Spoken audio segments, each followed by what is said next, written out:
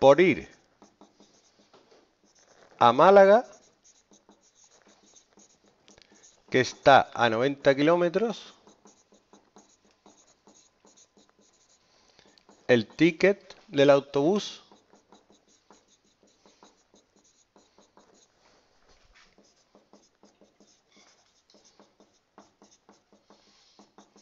cuesta 15,5 euros. Por ir a Cádiz a 150 kilómetros 24,5 euros. ¿A cuánto me sale el kilómetro?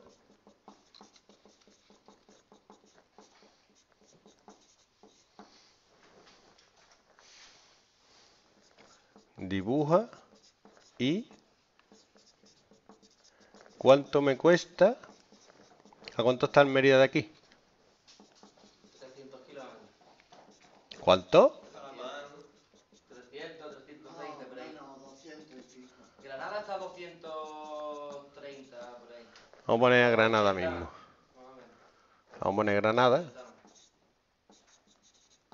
Entonces, yo me cojo. Digo, la X son los kilómetros. La Y son los euros.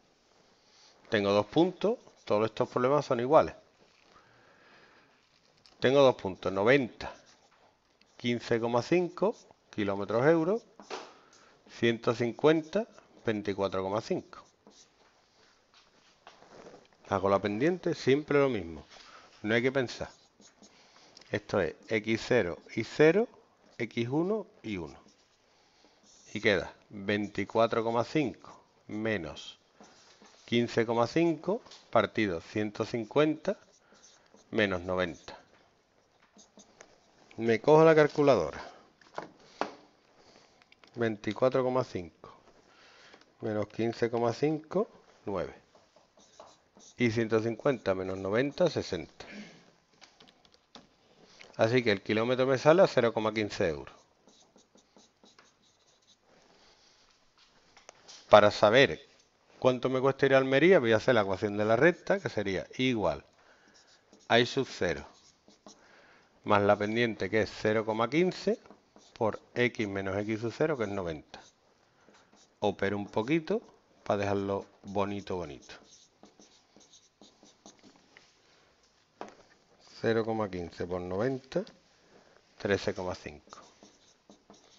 Y me queda 0,15x más 2.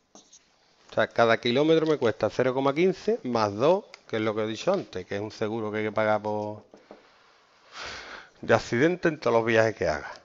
Si puedes no pagarlo, me parece. Pero no mola. Entonces, para ir a Almería sería 0,15 por 230 más 2 euros. 0,15 por 230 más 2. 36,5.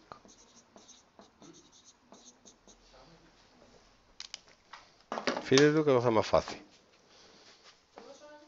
Pss. Así es más fácil. Mm, esto tiene un nombre.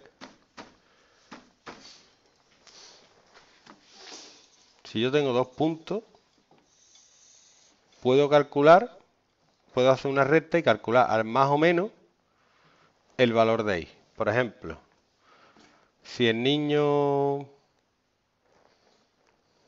A ver, ¿qué podemos poner? Que crezca. Algo que crezca con el tiempo. ¿Mm? Vale.